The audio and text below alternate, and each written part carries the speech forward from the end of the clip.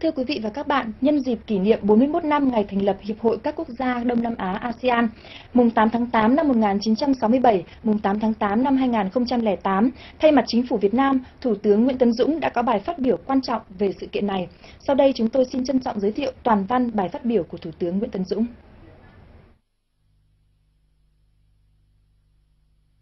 Thưa quý vị và các bạn, hôm nay chúng ta vui mừng kỷ niệm ngày thành lập Hiệp hội các quốc gia Đông Nam Á ASEAN tròn 41 tuổi.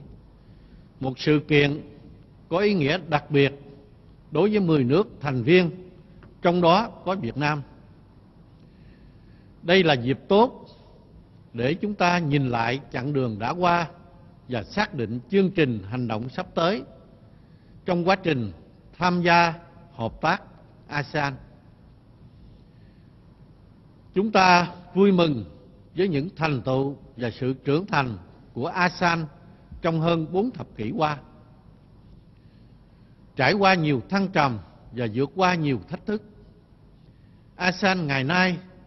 đã trở thành một tổ chức hợp tác khu vực toàn diện bao gồm cả 10 quốc gia Đông Nam Á với những thay đổi cơ bản. Một thực thể chính trị kinh tế gắn kết và năng động có vai trò quan trọng ở khu vực. ASEAN hiện là đối tác không thể thiếu của các nước và trung tâm lớn trên thế giới. Đồng thời là nhân tố quan trọng thúc đẩy các tiến trình đối thoại và hợp tác trên nhiều tầng lớp khác nhau ở khu vực châu Á, Thái Bình Dương. Thành công của ASEAN đã được thừa nhận rộng rãi, mặc dù Hiệp hội còn không ít hạn chế. Tuy vậy, nhân dịp này, chúng ta vẫn cần khẳng định ASEAN đã và sẽ tiếp tục là nhân tố quan trọng hàng đầu đối với việc duy trì môi trường hòa bình, an ninh và hợp tác vì sự phát triển ở Đông Nam Á, hỗ trợ đắc lực cho mục tiêu an ninh và phát triển của từng nước thành viên, cũng như cả hiệp hội. Những kết quả hợp tác ASEAN cả về liên kết nội khối và hợp tác giữa hiệp hội với các đối tác bên ngoài đã tạo cơ sở vật chất quan trọng cho hiệp hội gia tăng liên kết khu vực sâu rộng hơn trong giai đoạn tiếp theo, cũng như gia tăng vai trò và vị thế quốc tế của mình. ASEAN hiện đang chuyển mình sang giai đoạn phát triển mới, hướng tới mục tiêu hình thành cộng đồng ASEAN vào năm 2015 và dựa trên cơ sở pháp lý là hiến chương ASEAN. Cộng đồng ASEAN với ba trụ cột về chính trị, an ninh, kinh tế và văn hóa xã hội có mục tiêu bao trùm là xây dựng hiệp hội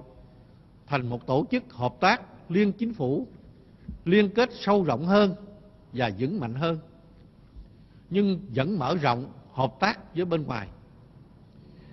Đồng thời, hướng mạnh tới người dân, phục vụ và nâng cao cuộc sống của người dân. Hiến chương asean sẽ tạo cơ sở pháp lý và khuôn khổ thể chế cho hiệp hội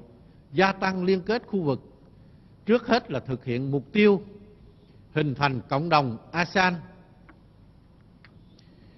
Điều quan trọng là hiến chương đã khẳng định lại tính chất của asean là một tổ chức hợp tác liên chính phủ và nguyên tắc bình đẳng, chủ quyền của các nước thành viên. Hoạt động trên cơ sở các mục tiêu và nguyên tắc cơ bản của hiệp hội, cũng như tổ chức bộ máy và phương thức hoạt động được đổi mới. Mục tiêu xây dựng cộng đồng ASEAN và sự ra đời của hiến chương ASEAN phản ảnh sự trưởng thành của ASEAN, thể hiện tầm nhìn và quyết tâm chính trị mạnh mẽ của các nước thành viên, nhất là về mục tiêu xây dựng một ASEAN liên kết chặt chẽ hơn và ràng buộc pháp lý hơn đẩy nhanh tiến trình xây dựng cộng đồng và khẩn trương đưa hiến chương vào cuộc sống là trọng tâm hợp tác ASEAN trong những năm sắp tới. Đây sẽ là quá trình không ít khó khăn do chịu tác động của nhiều nhân tố bên trong và bên ngoài, nhất là trước những biến động phức tạp và khó lường của tình hình chính trị, kinh tế khu vực và thế giới. Điều đó đòi hỏi mỗi nước thành viên cũng như cả hiệp hội phải có những cam kết chính trị đủ mạnh và sự đầu tư thích đáng cho gia tăng liên kết ASEAN, đề ra được những giải pháp và bước đi phù hợp để biến những mục tiêu thành hiện thực. Nhân tố quan trọng hàng đầu để ASEAN tiếp tục thành công trong giai đoạn mới là Hiệp hội cần tăng cường những nỗ lực chung để bảo đảm môi trường hòa bình, ổn định và hợp tác ở khu vực trên cơ sở các mục tiêu và nguyên tắc cơ bản của ASEAN đã được ghi nhận trong Hiệp ước Thân thiện và Hợp tác ở Đông, Đông Nam Á và Hiến chương ASEAN. Các nước thành viên cần tiếp tục làm hết sức mình để củng cố sự đoàn kết và thống nhất của Hiệp hội, tăng cường tình hữu nghị anh em và ý thức cộng đồng, đẩy mạnh hợp tác và giải quyết mọi khác biệt bằng biện pháp hòa bình. Đồng thời, ASEAN cần tiếp tục phát huy vai trò chủ đạo trong các vấn đề khu vực, chủ động thúc đẩy các tiến trình đối thoại và hợp tác ở khu vực, tạo điều kiện cho các đối tác bên ngoài tham gia và đóng góp tích cực cho việc xử lý các thách thức mới, các thách thức đối với hòa bình, an ninh và phát triển khu vực Đông Nam Á và châu Á Thái Bình Dương. ASEAN cần phấn đấu nâng cao chất lượng của sự thống nhất trong đa dạng trên cơ sở những mục tiêu chung và các nguyên tắc cơ bản như đồng thuận và không can thiệp. Điều đó đòi hỏi mỗi nước thành viên cần có cam kết chính trị mạnh mẽ với tiến trình liên kết ASEAN và gia đình ASEAN. Kết hợp hài hòa hơn nữa lợi ích quốc gia với lợi ích chung của cả khu vực ASEAN vì mục tiêu chung của Hiệp hội. Phát huy các giá trị truyền thống đặc thù của ASEAN và phong cách ASEAN. ASEAN phải đẩy nhanh tiến trình thực hiện các chương trình và kế hoạch hành động về xây dựng cộng đồng ASEAN với những biện pháp cụ thể và nguồn lực thích đáng. Đặc biệt, ASEAN cần có những biện pháp thiết thực để nhanh chóng thu hẹp khoảng cách phát triển hiện đang tồn tại trong hiệp hội,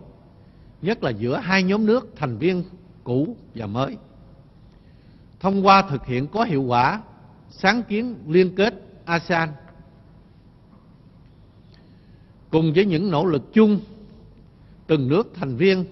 cũng cần lồng ghép phù hợp các chương trình phát triển quốc gia với các chương trình liên kết ASEAN. À, một nhiệm vụ quan trọng trước mắt là phải khẩn trương đưa hiến chương ASEAN vào cuộc sống. Hiến chương sẽ đem lại sự đổi mới về tổ chức, bộ máy và phương thức hoạt động của Hiệp hội, giúp nâng cao chất lượng và hiệu quả hợp tác ASEAN. Trong hoạt động thực tiễn, Hiệp hội cần có những nỗ lực lớn hơn để cải tiến phương thức hoạt động, đề cao năng lực và hiệu quả thực thi, khắc phục tình trạng triển khai chậm hoặc không tuân thủ đầy đủ các thỏa thuận. Có chiến lược quy động và sử dụng nguồn lực phù hợp, tránh giàn trải, lãng phí. Thưa quý vị và các bạn, Việt Nam là một bộ phận hữu cơ của ASEAN và là một thành viên có trách nhiệm của gia đình ASEAN. Khu vực Đông Nam Á và ASEAN có ý nghĩa chiến lược đối với Việt Nam vì nó liên quan trực tiếp đến môi trường an ninh và phát triển của Việt Nam. một ASEAN liên kết chặt chẽ, đoàn kết và thống nhất, có vai trò và vị thế quốc tế quan trọng là hoàn toàn phù hợp với lợi ích cơ bản và lâu dài của Việt Nam. Do vậy, Việt Nam luôn xác định ASEAN xét cả về hợp tác đa phương và quan hệ song phương là một bộ phận quan trọng trong chính sách đối ngoại độc lập, tự chủ, đa phương hóa, đa dạng hóa và láng giềng hữu nghị của Việt Nam. Kể từ khi gia nhập ASEAN tháng 7 năm 1995, Việt Nam đã tham gia tích cực, chủ động và có nhiều đóng góp quan trọng cho sự phát triển lớn mạnh của Hiệp hội. Mà gần đây nhất là việc sớm phê chuẩn hiến chương ASEAN. Bước sang giai đoạn mới, chúng ta cần tiếp tục tham gia tích cực, chủ động và có trách nhiệm, góp phần cùng các nước thành viên xây dựng thành công cộng đồng ASEAN trên cơ sở hiến chương ASEAN. Các bộ ngành của Việt Nam cần tăng cường phối hợp hành động, củng cố tổ chức bộ máy và đầu tư thích đáng về nguồn nhân lực, tích cực nghiên cứu và đề xuất sáng kiến khả thi, nâng cao hiệu quả hợp tác. Chúng ta cũng cần tăng cường hơn nữa công tác tuyên truyền rộng rãi cho các tầng lớp nhân dân về ASEAN và sự tham gia của Việt Nam. Quy động sự tham gia và đóng góp của các tầng lớp nhân dân vào quá trình xây dựng cộng đồng ASEAN. Nhân dịp kỷ niệm ngày thành lập ASEAN, thay mặt chính phủ và nhân dân Việt Nam, tôi xin gửi lời chúc mừng tốt đẹp nhất đến chính phủ và nhân dân các nước thành viên trong đại gia đình ASEAN. Nhân đây, tôi xin khẳng định rằng chính phủ và nhân dân Việt Nam sẽ tiếp tục nỗ lực góp phần thiết thực và quan trọng vào sự phát triển của Hiệp hội